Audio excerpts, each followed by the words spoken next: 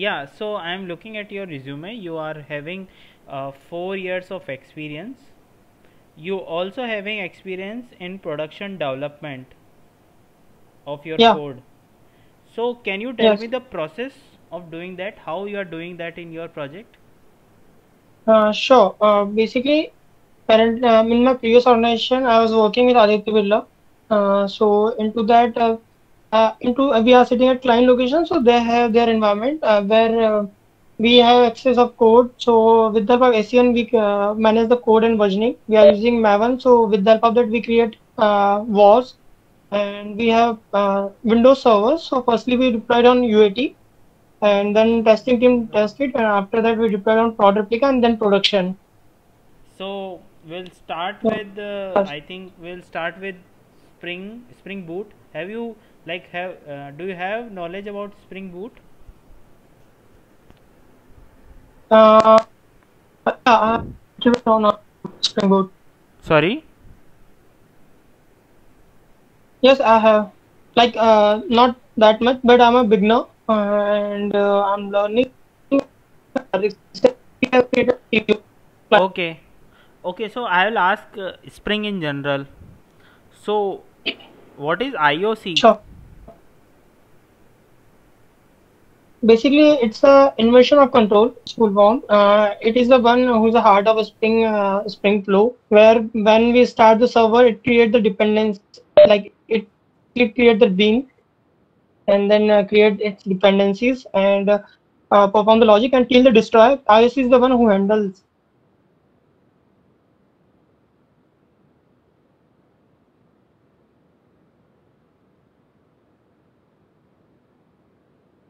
hello. Okay. Yeah. So apart from that uh, what are the different scope of a bean? Uh, there is singleton prototype and and what are the different annotations you have used in spring application? Hello? You're breaking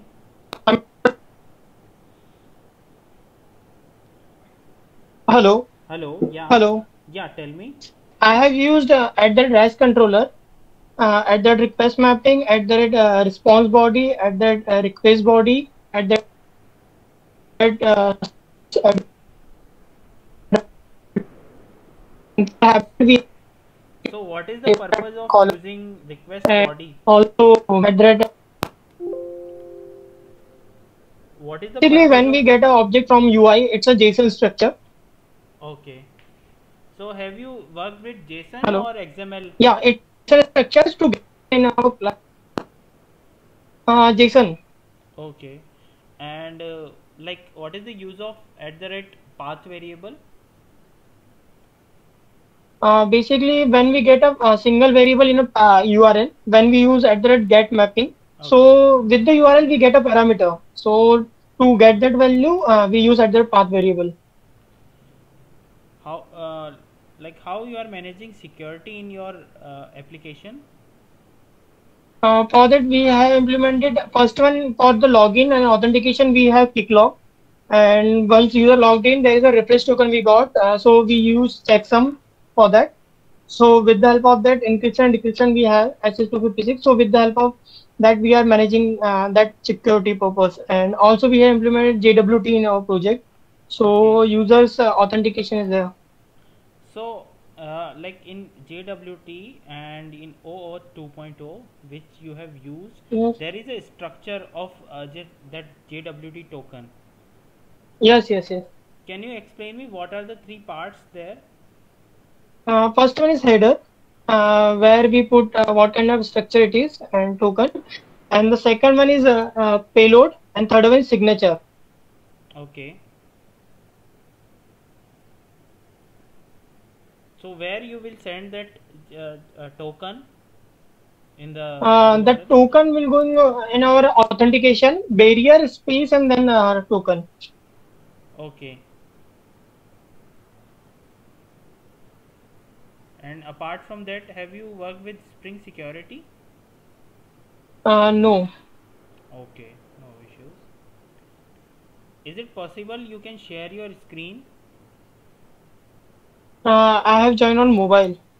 okay okay so have you like uh, are you familiar with stream api Yes, yes.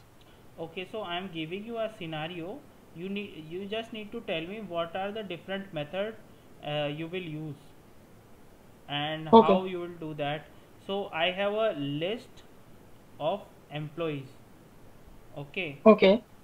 and you need to find out you need to find out uh, employee age which is greater than 25 Empl- list of the employee whose age is greater than 25 Sure. So what I will do, I will uh, write the reference one, uh, got of list dot stream dot filter, and I will get a, a particular value, okay, particular object of a employee, and I will put the condition, and after that I will uh, write dot collector, and to that uh, collection dot to list. So it will give me the list of objects which is going to be uh, uh, hold all the objects in a different list. okay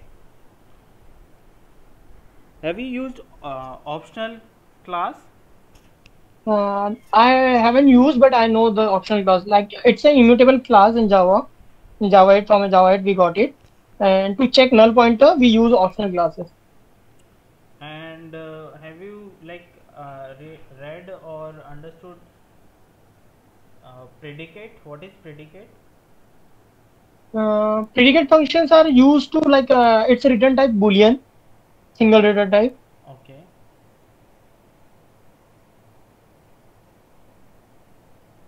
okay fine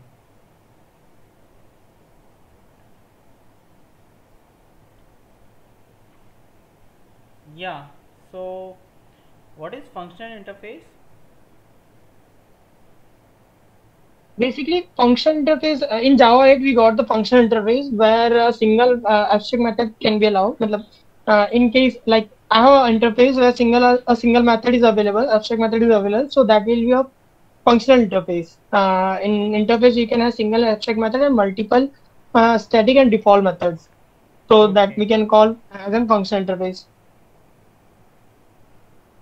okay so are you familiar with microservices Uh, not that much, but uh, I know how it works. Like uh, to overcome the monolithic, we use microservices. okay so uh, i mean in your project anywhere do you have uh, little experience about microservices or it's No. knowledge Currently, uh, I just have the knowledge because I'm learning the new technologies. They are using Spring Boot, Hibernate, and Core Java as well as uh, uh, for DB, MS SQL. Uh, these are the things is available in my project, but I'm learning uh, CI/CD as well as uh, microservices. okay okay okay so are you familiar with spring mvc Yes. okay so suppose if you want to change the like uh, what type of files you are using uh, to uh, to view uh, for the view layer in spring mvc in your Uh, project Uh, we are using internal view resolver, and the for front end we have uh, backbone. So they create a request and uh, trigger us as an uh, JSON structured, and we got uh, place. so you are using backbone js Yeah, okay. Okay so in spring mvc yes. what is front controller? Uh, sorry, no idea about the front end. have you heard about uh, dispatcher servlet?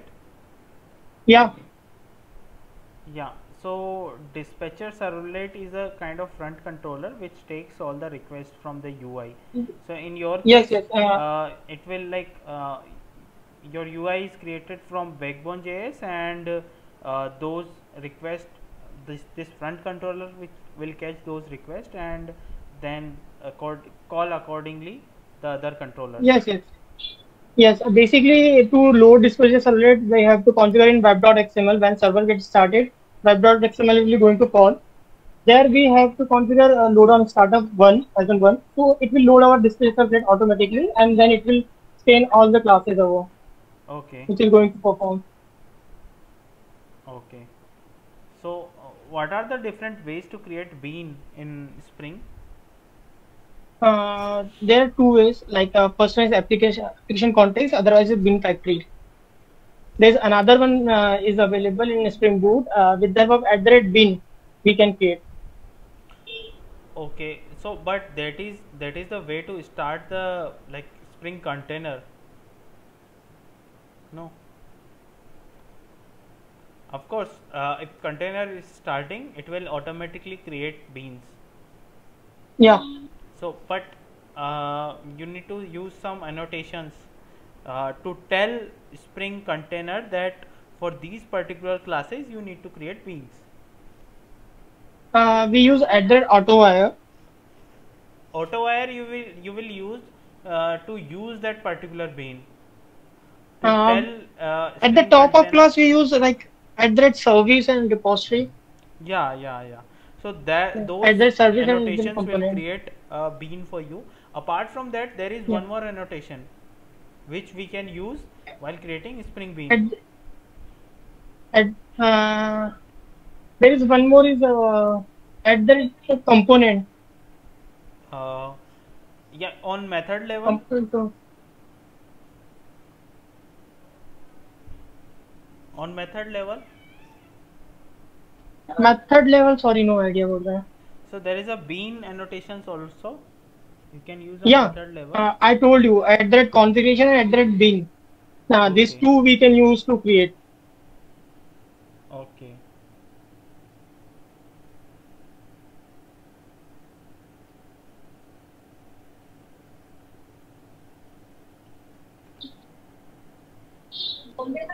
okay so what is model and view object Model, model and view in spring mvc sorry, no idea about that. okay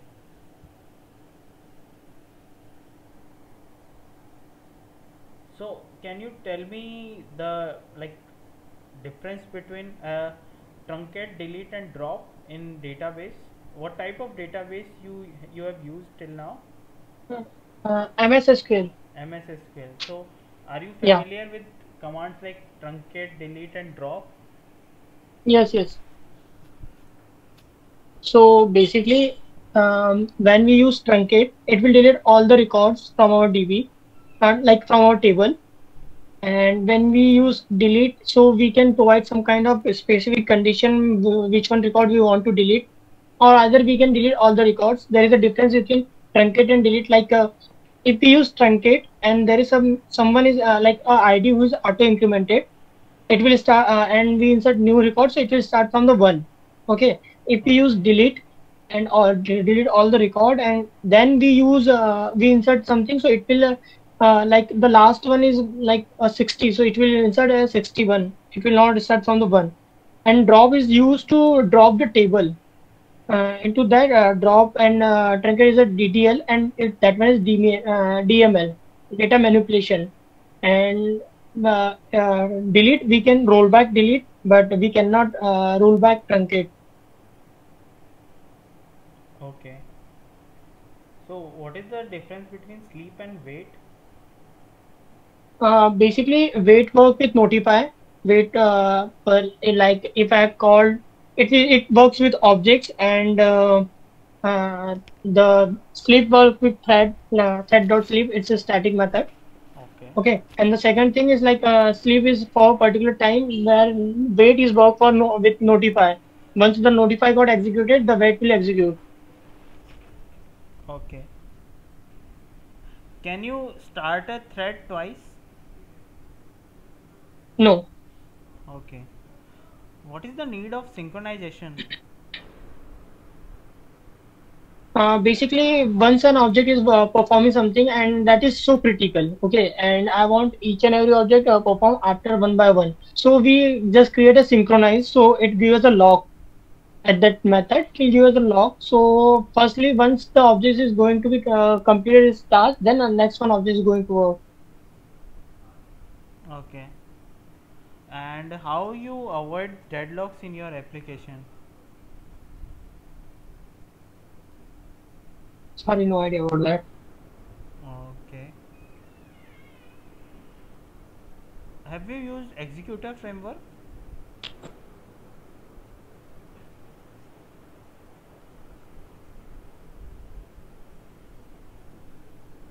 Okay. Have you used executor framework?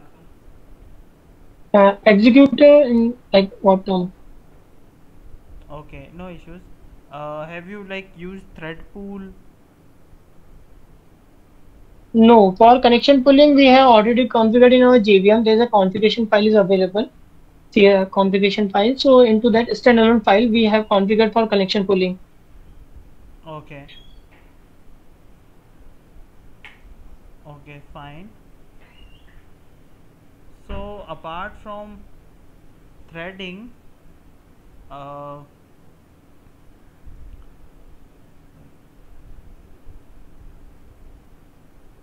so what will happen if we put a key object in a hash map which is already there? See, firstly, it will uh, that it already exists, so it will uh, update the value and return the previous one. Last one value it will return us.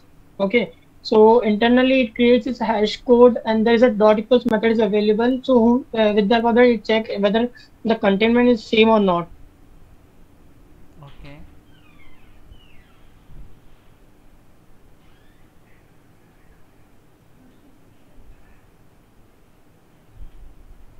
Okay, so how we can execute any code even before main method? Uh, how we can execute?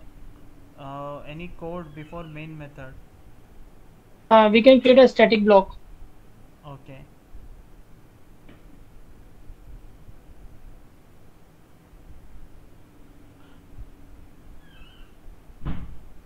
So, uh, why runnable interface is used in Java?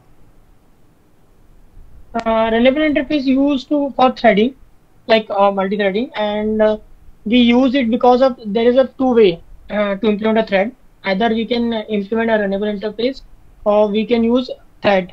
We can extend the thread.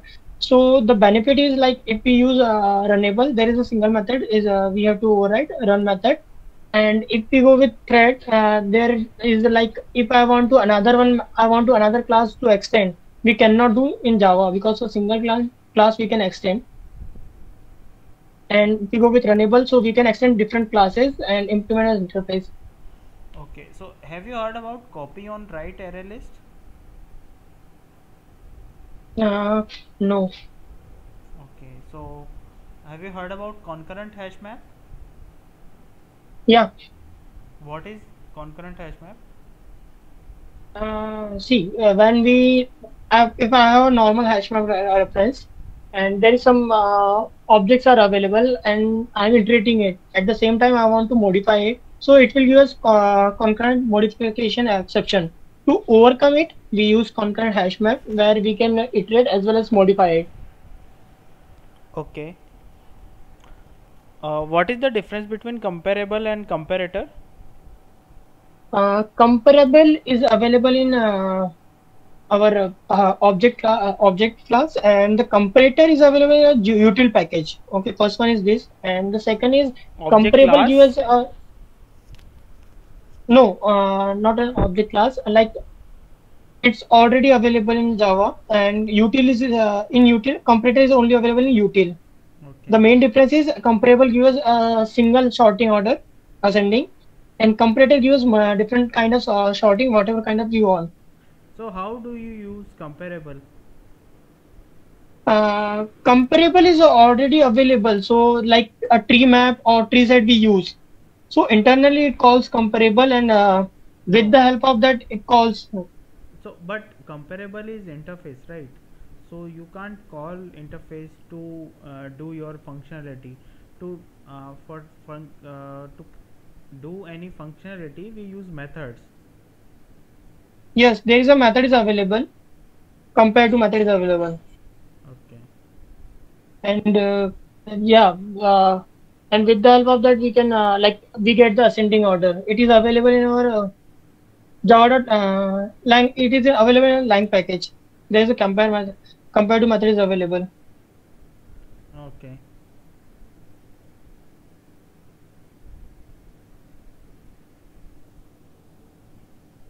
Have you used any design pattern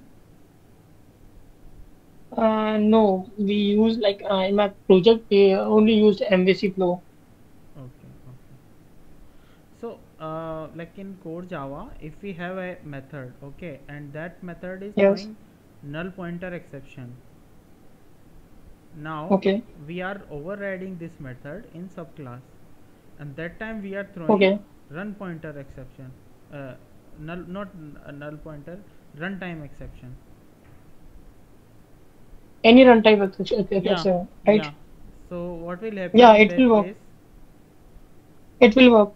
Like null pointer is also a run, a runtime exception, so it will work.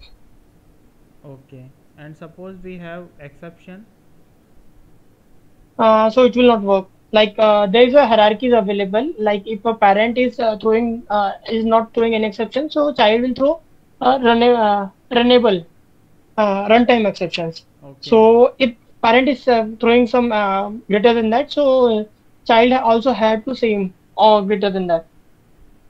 okay so how do we create a copy of java object Uh, with the help of uh, instance, get instance, we can create. uh, so have you heard about clone method Yeah, there's a clone method. So in which class clone method belongs Uh, it's uh, available in the object class. okay so what is Cloneable interface Sorry, no idea. About that. okay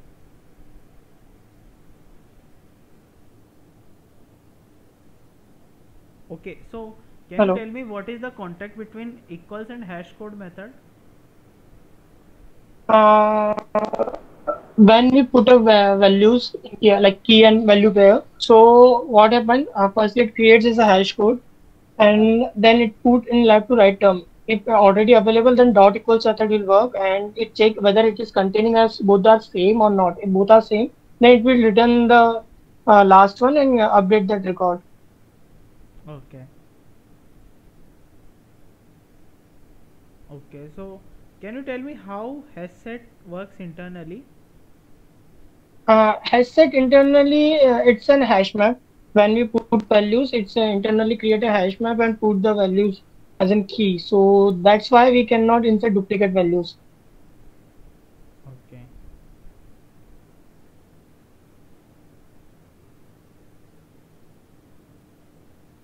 Hmm.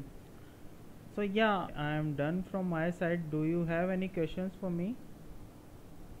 Uh, no, not right now. okay. Okay.